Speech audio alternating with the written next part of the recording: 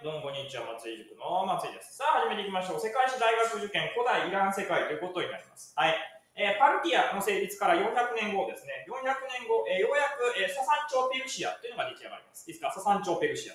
で、このササン朝ペルシアっていうのは、アルデシール一世、アルデシール、アルデシールじゃないですよ。ここにアルデシールじゃないですよ。はい。アルデシール一世が中央集権の、えー政治を進めましょうというのが作り上げたのがこのササン朝ペルシア。